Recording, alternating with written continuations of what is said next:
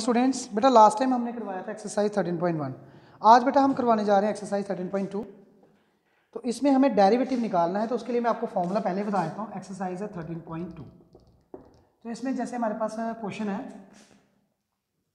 पहले आपको बता दूँ कि एफ़ डैश एक्स किसके इक्वल होता है? आपने फिजिक्स में भी देखा था, ये होता है f of x h to zero x f of x plus h upon h ये है डेरिवेटिव किसी भी फ़ंक्शन का अगर आपको डेरिवेटिव फाइंड करना तो आप ये फॉर्मूला इंप्लीमेंट कर सकते हो।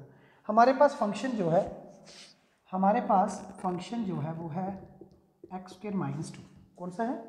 X square minus two at x equal to ten कितना है? एक्स इक्वल टू टेन तो देर अब यहाँ पे आपको करना है एफ़ डैश एट टेन वो तो करना है, बाद में पुट कर सकते हैं। तो सबसे पहले हम इस डेफिनेशन को देखेंगे तो देर एफ़ डैश एक्स कितना आएगा? Limit h approaches to zero ठीक है? F of x plus h जब एक्स प्लस एच यहाँ पुट करोगे तो आएगा एक्स प्लस एच का होल स्क्वायर माइनस टू ठीक? Minus x square minus two upon h ये आएगा limit h approaches to zero ये आएगा a square plus two a b plus b square minus two minus x square minus two upon h limit h approaches to zero x square two x h h square minus two minus x square plus two upon h ये cancel ये cancel ये cancel ये cancel ठीक है? तो हमारे पास देखो limit h approaches to zero यहाँ से बेटा एच कॉमन ले लो, ठीक है? एच कॉमन लिया तो टू एक्स मिला, है ना? टू एक्स मिला, यहाँ मिला प्लस एच ओनली नीचे एच आपको differentiate therefore limit apply कर लो।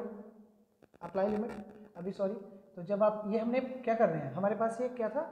डिफरेंशियबल फ़ंक्शन था, ठीक है? उसकी वैल्यूज़ निकल रही है।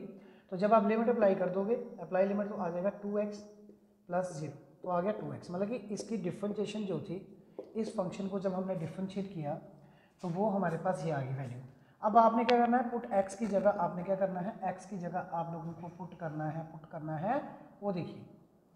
टेन तो बेटा एफ़ डैश एट टेन कितना आ जाएगा? टू इंटू टेन कितना आ गया? ट्वेंटी तो ये आपकी डिफ्रेंशिएशन होगी at x equal to twenty पे, ठीक है? तो करना कैसे है? तरीका देख लीजिए, क्या करना है आप लोगों ने? देखिए। हमारे पास सबसे पहले ये फ़ंक्शन को आपको याद रखना है इसको। अब आपको, जैसे हमारे पास पता है, आपको याद होगा एफ़ एक्स के माइनस टू ये फ़ंक्शन था हमारा।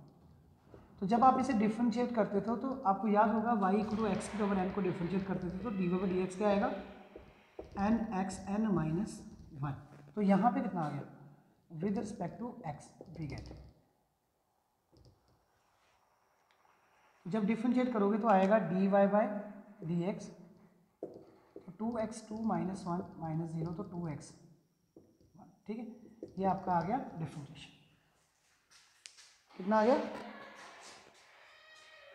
डी वाई डी एक्स आ गया, टू एक्स वन। कितना आ गया? Two x one. तो यही पे देख लीजिए टू एक्स है। तो इस तरीके से भी आप चेक कर सकते हो, बाद में एक्स की वैल्यू पुट कर सकते हो, ठीक है? और याद रखना, इसको डी वाई डी एक्स को हम एफ़ डैश एक्स कहते हैं। तो ये था हमारा आज का पहला क्वेश्चन ठीक है?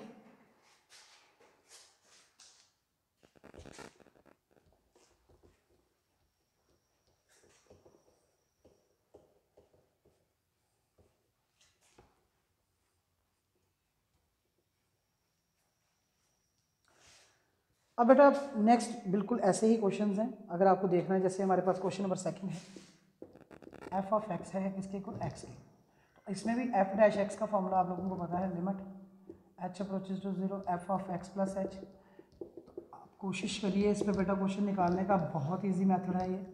देखिए एक्स की जगह एक्स प्लस एच पुट करेंगे तो x plus h minus x f of x की जगह x upon h limit h approaches to zero तो ये कितना आएगा? X plus h minus x by h cancel तो limit h approaches to zero h by h cancel तो कितना मिला? वन तो मतलब कि एफ़ डैश एक्स डिफ्रेंशिएशन आपको भी पता है एक्स की वन ही होती है। अब वो कह रहा है नहीं कि एट एक्स इक्वल टू कितना करो? वन करो। At x equal to one x equal to one बेटा देखो, अब ये कॉन्स्टेंट फ़ंक्शन आ गया ना। F dash at x already one है। अगर आप एफ़ डैश एट वन करोगे तो वन ही रहेगा। अब यहाँ पे जो मर्ज़ी वैल्यू पुट करो आंसर इसकी डोमेन में जो मर्ज़ी पुट करिए रेंज आपको वन ही मिलेगी हमेशा, ठीक है? तो इसको हम, ऐसे फ़ंक्शंस को हम क्या कहते हैं?